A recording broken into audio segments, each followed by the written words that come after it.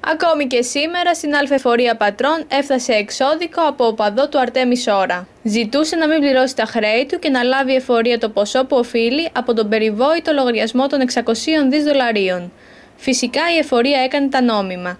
Θα προβεί σε κατάσχεση των τραπεζικών του λογαριασμών και ό,τι άλλο προβλέπει ο νόμος. Υπήρχε μια κίνηση από φορολογούμενους, λέμε εμείς, που ερχόσατε με μέσω δικαστικό επιμελή και, και υποβάλλανε κάποιες εξώδικες διαμαρτυρίες, εξώδικα, ε, με σκοπό οι οφειλές τους να, να, να, να τις πάρει το ελληνικό δημόσιο από τα χρήματα που έχουν κατατεθεί στο λογαριασμό του Αρτέμις Σόρα.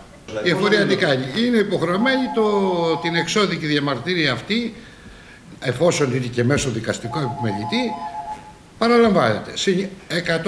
100% όχι συνήθως, τη χρεώνουμε στο δικαστικό, στο, στο αρμόδιο τμήμα, εφόσον έχει τα στοιχεία του φορολογουμένου και το αφημί του, κοιτάμε να δούμε αν έχει υποχρεώσει. Αν έχει υποχρεώσει ληξιπρόθεσμος ο φορολογούμενος αυτός, ο συγκεκριμένος, είμαστε υποχρεωμένοι να πάρουμε και αναγκαστικά μέτρα. Αν είναι ε, όπως κατάσχεση ισχυρά τρίτων, εννοούμε τράπεζες, ενίκια, μισθώματα. Στο μεταξύ, ακόμη και ο Ορτέμις Ώρας χρωστάει στην Α Εφορία Πατρών. Αν και ανήκει στη Γάμα Εφορία, οφείλει περίπου 5.000 ευρώ από διαδικασίες που δρομολόγησε το δικαστικό τμήμα της Εφορίας. Πάντως, ο Αρτέμις Ώρας δεν έχει στείλει εξώδικο να μην πληρώσει την οφειλή του.